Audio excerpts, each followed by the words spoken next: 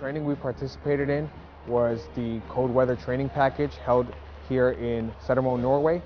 The training consisted of basic cold weather survival skills, uh, an ice break drill, and then a survival night where Marines stayed out in the field uh, and survived for one night with an improvised bivouac.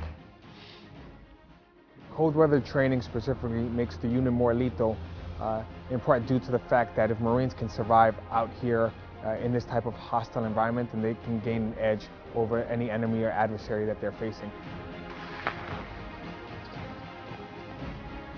I definitely believe that the Marines enjoyed the polar plunge a lot. Um, you may not uh, believe it, but Marines are actually very good at, at sucking it up uh, and, and, enjoying terrible situations, and, and that polar plunge uh, was definitely one of those. But I believe that they learned a lot from it, um, and, and, it tested them uh, mentally and physically, as well as the survival night.